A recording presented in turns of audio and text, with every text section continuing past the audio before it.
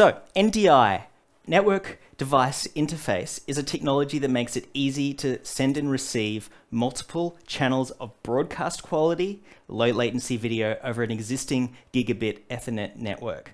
So think of it this way. File sharing has been possible for decades now over a local network. You can send and receive files, you can send something over to a printer, so why not with live video? And that is essentially what NDI is all about and NDI does it in a way that is perfectly suited for live production and streaming applications like vMix. So we get asked about NDI a lot, as you know, there's a lot of excitement about it, and people are asking, well, what can it do specifically for vMix? First of all, it can receive multiple channels of video and audio from any NDI compatible device or PC on the network in SD, HD, or 4K and everything in between. So any device on the network that supports NDI and can send video and audio in NDI, vMix can receive it, just like it would with a camera input. So with audio and video in sync together, live, low latency, so it arrives pretty much exactly uh, only within a few milliseconds after it was sent. Low latency, great for live use. So any device or thing on the network it can receive. It's as easy as going to add input and selecting the NDI tab and you'll see all the sources available on the network. Just like when you're browsing your network on your PC, you'll see computers that you can access files from. In vMix now you can see all the computers that have, or devices that have live video. So uh, that's the first feature. You can receive any NDI source. And including cameras and devices you can also receive from other PCs. Things like graphics generating programs, there's a whole bunch of them that are going to be coming out at NAB. There's even a few that have been released just in the past couple of days uh, software that generates titles, animations with full alpha channel support. So using something like CasparCG on another computer, if you know about that software, it will it supports NDI now, and you can do alpha channel, and you can bring that all into vMix. Don't need to worry about separate inputs and key and fill. It's just a single source that has alpha channel, so it's really easy to use.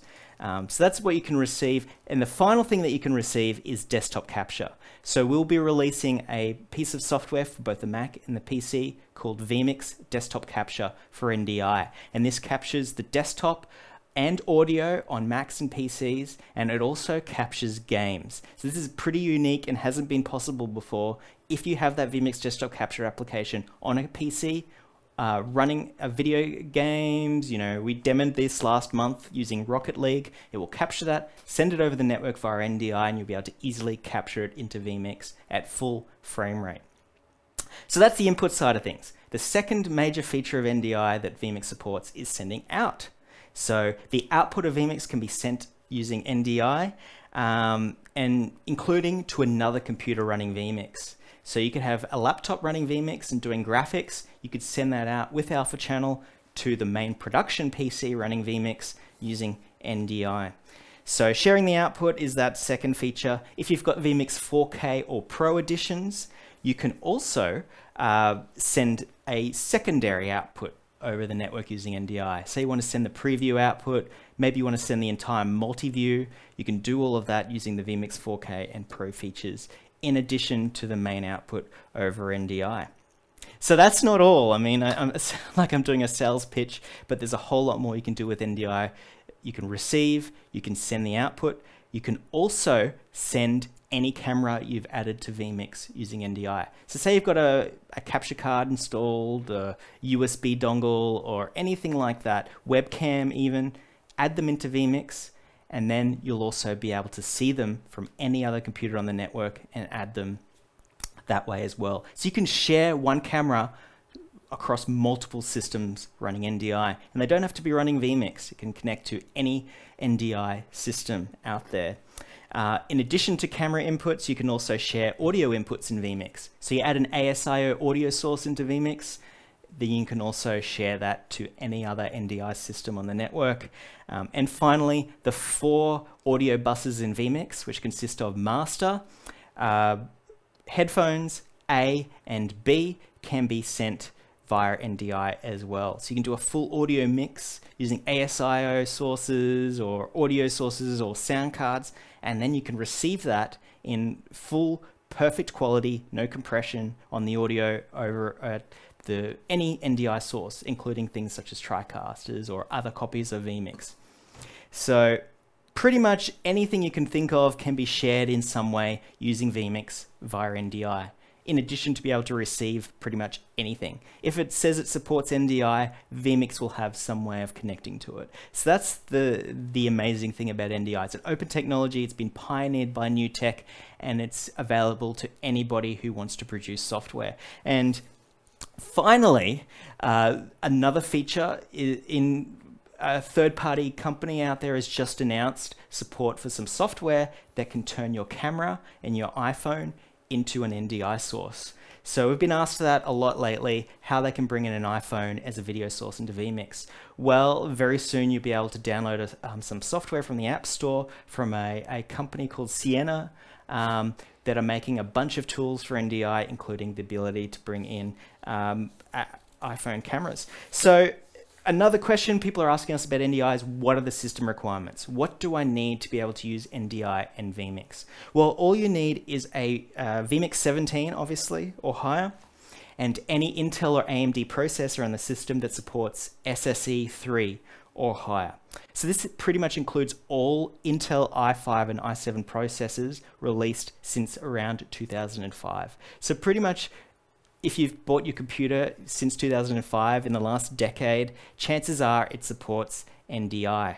It's just a matter then of how many sources that you can bring in at the same time. And that really just depends on the CPU resources you have available to you. If you've got a high-end 4 gigahertz or even 3.5 gigahertz 4 core processor, then you can bring in at least four NDI sources in full HD into vMix without using up too much CPU. But with everything, the simple CPU rule applies.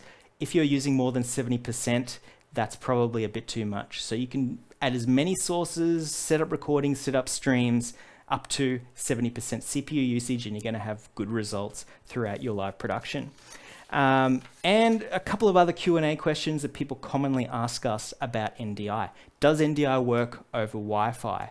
The answer is kind of. to explain that, NDI uh, is really designed to be used over a gigabit Ethernet network for low latency, smooth, high quality HD and even 4K sources. So if you have a couple of sources that are connected over Wi-Fi, you will be able to receive them in vMix. It's just a matter of how smooth the video will be. If you've got one of the latest high quality Wi-Fi networks that does 100 megabit plus, and reliably, then you'll at least be able to bring in one full quality HD source using Wi-Fi. So that might be handy if you have a couple of iPhone cameras you want to send in. Maybe they're sending 720p with that app I mentioned earlier, that you'll probably be able to do a couple of those on a good quality Wi-Fi uh, N-enabled network, or A, uh, the two major new standards for high bandwidth uh, Wi-Fi A or N 802.11a or N for those that, that know about the different versions of the wireless standards. And you know, as I mentioned before, vMix Desktop Capture for NDI is a separate application to capture games and applications from both Mac and PC.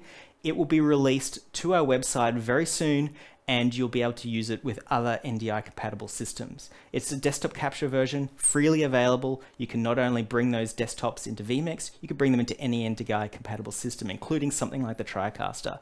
So we believe it'll be the only product out there that'll be able to capture games and full screens on the desktop capture uh, on Windows. Uh, so you'll be able to get a hold of that for free and use it with any NDI production. So that's also a cool add-on we're providing um, to the NDI community free of charge. So finally, the final question we get asked is which editions of vMix support NDI? And their answer is all of them. So if you don't know, we have a free version, which is in SD, called Basic, which can bring in two SD cameras. Then we have Basic HD that can bring in three HD cameras, four total. NDI is treated as a camera. So if you've got the SD version, you can bring in two NDI cameras in SD. Uh, if you have the basic HD, you can bring up to three HD camera NDI sources in HD. Uh, if you have any of the other versions, then it's unlimited, only up to the maximum amount of performance available on the PC. Um, so it's it's shared with the cameras as well. So the basic HD supports three cameras. You could have one physically attached webcam and two NDI sources, and you can do all of that in the basic HD. So NDI is available in all versions. It's just a matter of uh, what features are currently available also apply to NDI. So if you have the 4K version, you can do two NDI outputs, just like you could do two external outputs in 4K version in previous editions. So that is a brief run over, run, run through of what NDI does and how it all works. So I hope that's helpful to everybody.